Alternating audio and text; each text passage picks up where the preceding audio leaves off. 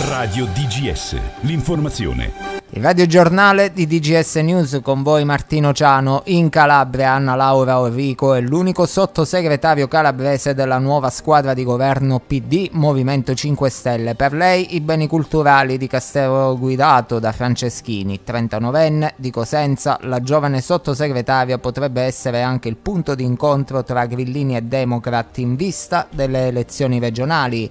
Infatti in queste ore circola il nome di Pippo Callipo quale possibile possibile candidato alle elezioni per il rinnovo del governo calabrese, una figura di superamento che dovrebbe mettere tutti d'accordo. Laurico è stata una delle promotrici di Callipo quando l'industriale si candidò alle regionali.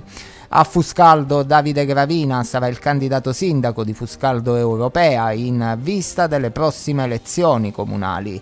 Torna in auge l'esponente politico con un certo anticipo, una scelta dettata dal fatto di avviare una seria discussione di bilancio e non a progetti improvvisati come spesso accade in vista delle comunali. Lanza Calabria, una coltivazione di 780 piante di marijuana è stata individuata a Cetraro dai carabinieri che hanno arrestato due persone del posto rispettivamente di 28 e 40 anni. L'operazione è stata condotta dai carabinieri della compagnia di Paola, stazione guardia piemontese marina e della stazione dei carabinieri forestali di Cetraro supportati dallo squadrone eliportato cacciatori Calabria.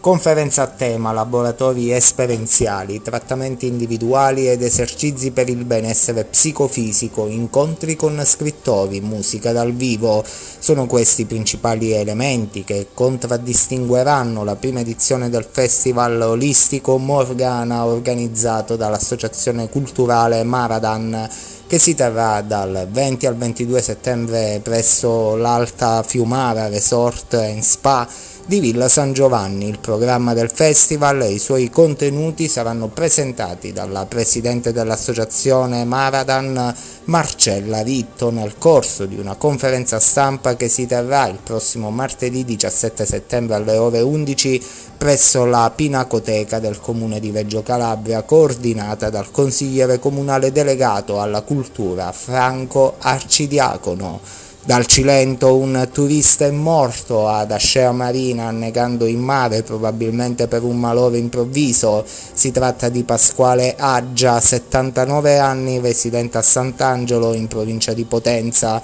È l'ennesimo decesso che i sanitari del 118 sono costretti a registrare nel Cilento. L'uomo era in vacanza insieme alla sua famiglia. Passiamo allo sport, la stagione della Carrera Cup Italia entra nella fase più calda il pilota calabrese Simone Iaquinta dopo aver conquistato due vittorie sul circuito del Mugello prima della pausa estiva si gioca in questo weekend la permanenza nell'alta classifica di campionato. Sul circuito romano di Valle Lunga infatti Iaquinta spingerà al massimo la Porsche Carrera 911 Ghinzani per cercare di ottenere punti importanti e giocarsi così le chance di successo in un finale di campionato rovente. È tutto, grazie per averci seguito.